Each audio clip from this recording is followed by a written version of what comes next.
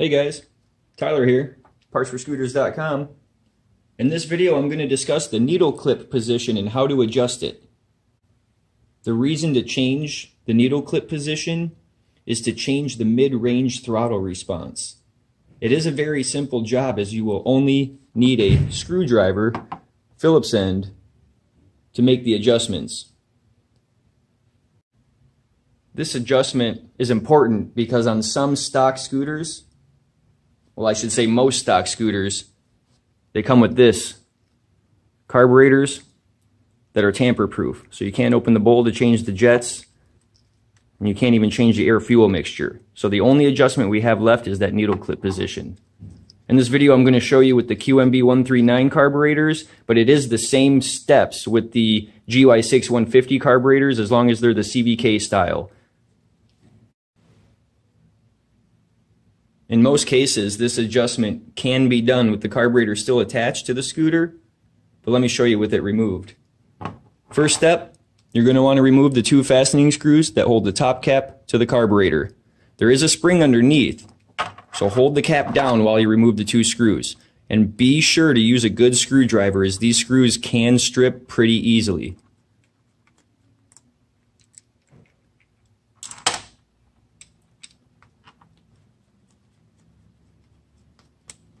I'm still holding the cap down so the spring can't push it off.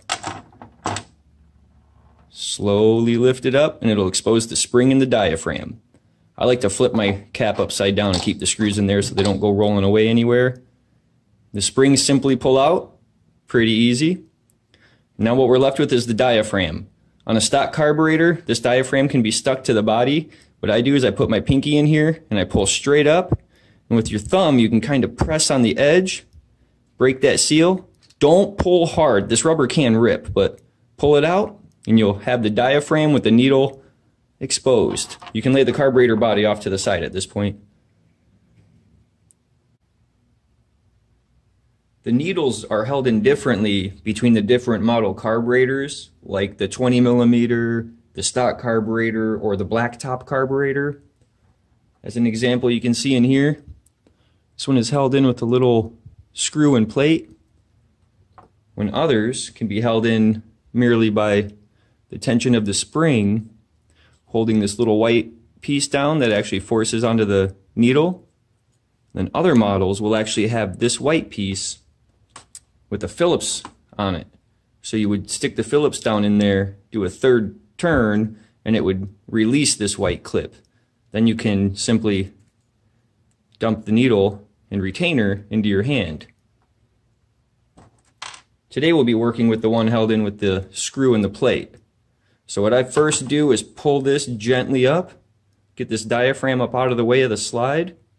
So now you can get your hand good and firmly around that slide to be able to get your screw down in here and break this screw free. Sometimes these are really, really, really tight. Sometimes they break free easily. If you have a magnetic screwdriver, the screw and plate should come up with the screwdriver. If not, you'll be able to dump it out in your hands.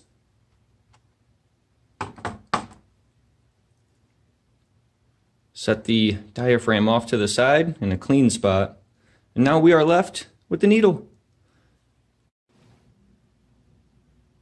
Removing the circlip can be a pain since, you know, we might not have the special tools or pliers small enough to grab a hold of this little guy and actually get that removed. So here's a trick. With that opening, see the opening in the circlip? Put that down, opening side down on a hard surface. What we're doing here is supporting the clip and we're pressing the needle out of the clip. So what I'm going to do is put my finger as close to this clip as possible. Not in the middle as you could bend the needle. Put your finger as close to this clip as possible and cover the clip with your other finger. Now press down. You might feel a click. You might not. The click is the clip removing from the needle. But press down and kind of wiggle the needle just slightly back and forth. Sometimes the needle clip will fall right off like I hope this one does. Sometimes they don't. This one's not off. I'm going to try again.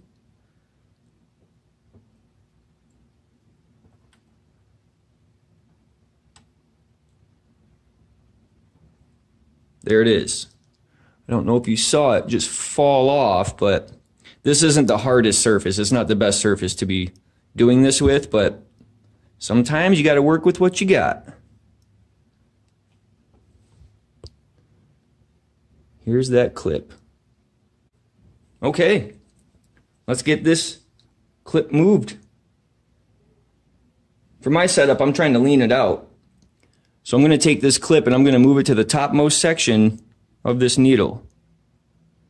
Now, unfortunately, these clips are a little too tight to just push in with your finger. So we need something to help force it on. What I'm going to do is I'm going to use the hard surface we used earlier to press it on just like we did to press it off. Only you got to keep the opening up to allow the needle to drop into the clip. You're not going to get this every time the first time.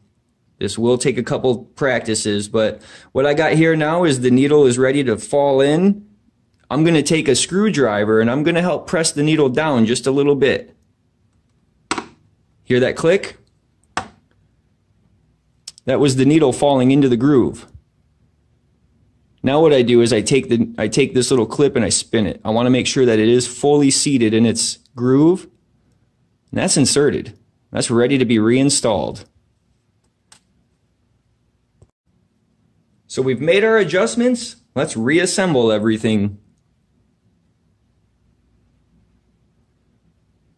There's a couple holes in the bottom of the, bottom of the diaphragm. We're aiming for the middle one. Drop the needle directly into the middle hole.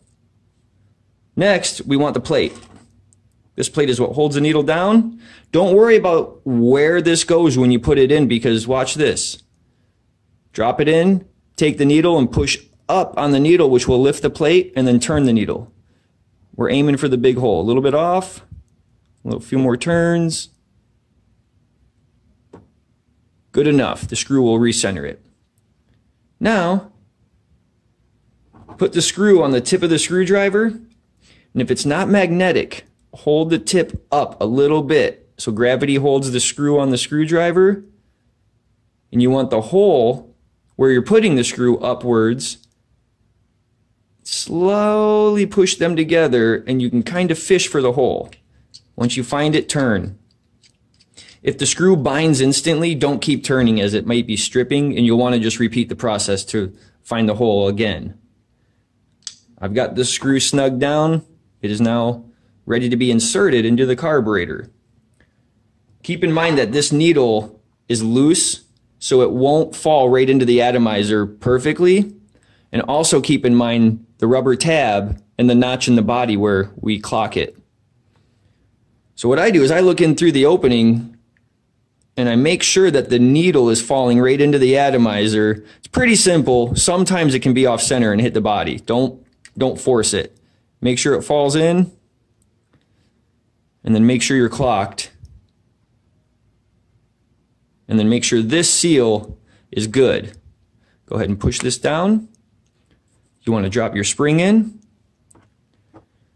You want to take your cap, push that down, and just hold it with your fingers in place. I preload both of my screws and then fix them down. If you were doing this while it was on the scooter, it's a lot harder to aim that needle down into the atomizer. If that's the case, just slowly press down until you feel the needle find the atomizer and then you can continue on with the rebuild. We now have a new mid-range throttle position. A quick test ride will tell us if this is good or not. If it happens to be worse than it was before, move the clip in the opposite direction. This is a trial and error process to dial in your mid-range throttle. The carb shown in the video is our part number 151-222. It's the 20 millimeter upgraded carb for the 139 QMB engine platform. And if you like this video for any reason, be sure to click like, click subscribe, and drop us any lines in the comments. Any questions, any comments, anything you want to see in the future, let us know. We're here to help. Thanks.